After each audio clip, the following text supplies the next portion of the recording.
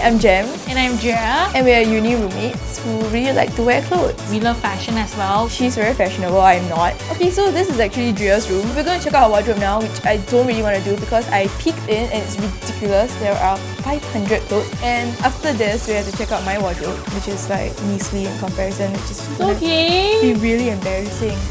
This is my wardrobe. What do you think your personal style is like? Um, I like to try different styles, you know, depending on my mood. So sometimes I go from flowery to, you know, more casual beach wear-ish. And uh, I go from very um, preppy chic to... uh, But secretly, I think I'm this rocker indie girl that I can pull off all the things that I see on like lookbook.nu. But obviously I can't. So I try to fulfill this inner rock chick by buying like leather jackets. This one I got from Topshop. This is nice. This is really nice actually. But what would you pair it with? Um, if I'm going for a more chic look, I guess I'll go with this, but with like black heels. Who do you think your fashion inspirations are?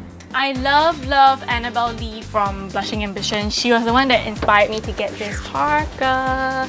She goes everywhere with her parka. So how adventurous do you think you are with your dressing? Define adventurous? Would you wear something that's like socks and heels? No, because I don't really have that kawaii look. But Alexa Chung wears socks and heels. She's always started the socks and heels trend. Hmm, then I have to buy more heels. Oh, that wasn't what I meant at all. What's this? Um, oh, this one I got because I was going for the very artsy fartsy look that I would wear with like, you know, a slouchy tank. Yeah. Okay, moving on. Can you not just put it like this? I'm sorry, It has to be color coded. Okay. I'm so sorry. I'm very OCD about this kind of stuff. And like my heart shatters every time I have to take something out because I have to fold them back again. What is it? It's a top, right? Where does your head go? Oh, it goes okay. here. Why is there a hole in your dress? This is a hole is for where your arms go through. sorry, I, sorry, I thought that was your bag. Why are there holes in a shirt? no, I thought it was. I thought this was like the cutout trend, like you know. Yeah. Okay, so speaking of the cutout trend, do you have cutout trend clothes? Yeah, I do. Okay, so unfortunately, because I don't have enough space in my wardrobe, I had to buy another rack, which I quickly filled up as well. Yeah, back to the cutout dresses trend. So I have one like this, another one like this. This one was really gorgeous. The cut is amazing. This one is from the Style Diary. This is my home. As you can see, it's not very neat. Jemimah is more, I'm home, and then she just like puts her stuff on a chair. Yeah, I want to introduce to you this very important wardrobe essential gadget known as the chair. Like, Look, she just dumped like her clothes. I basically live off my chair. Oh. So this is my closet. It's the neatest that you will ever see. Describe your sense of style. I like very structured things. Like, okay, you cannot tell, right, because of this No, this is not cardigan. structured at all. Yeah, but I like structured things. I Alright, have right. blazers, I wear them. But Okay, yes, I always she, get she, Jem does wear a lot of blazers. always get scolded when I wear blazers because it's a bit hot in Singapore. So when I want something that's ah, formal, but So hard to take out. I don't want to deal with the heat, I wear this. It's lace, so you don't you know there's a lot of ventilation. Then you don't really have to deal with the the heat in Singapore. You wear it with a dress. Yeah, but it's a bit scratchy, so you It's a have bit to wear matronly as well. matronly. You just call me a nurse. I called you an old woman. Nix. Name us your fashion inspirations. I really like Shini Park, mm-hmm. who is UK fashion blogger Park and Cube. Firstly, because she's Asian, and it's very difficult to find like good celebrity or like famous Asian Asians. You know, they're all, they're all like Western. And another thing that's very nice about her is she dresses well, but without the need to reveal a lot of skin. Skin. She's very big on colors.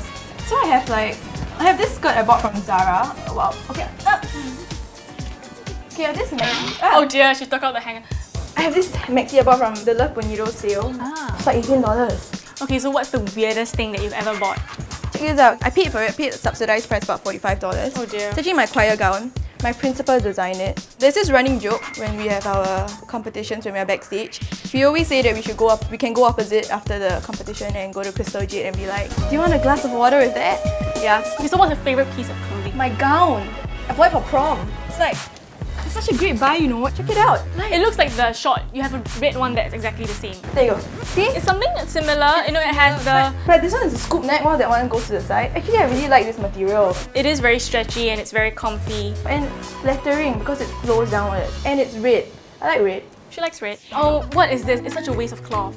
You know, it's, it's just those kind of clothes that you. But what if you need to go for a costume party? It's made of velvet and it is tiger print blue velvet. Now, So obviously not a tiger. Eh, fine, it's a It's a leopard. leopard. Okay, Can we not talk about this dress anymore? no, we have to talk about this. Look at this. It's velvet. I bet you would look nice in it. You want to try on? No, never ever. So this is where I keep all my shoes. So you have one cupboard and all these are yours. I have like shoes stuck in this thing that looks like a chair but it's really a cupboard. I have a pair of Espadrilles that I just got from ASBS for like $8. I really like them because they're so casual. You also look like a fisherman's daughter. They're quite nice what, no meh? No. My fa- current favourite pair of Steve Madden. They're a bit scuffed at the front though because a bit of a long story. I threw them over the a road barrier when I was climbing over. So very long and possibly illegal story. This is the one that you bought online. Yeah, I bought it from a blog shop. The brand is Jojo Cat. I don't even know what it's supposed to mean. What would you wear this with?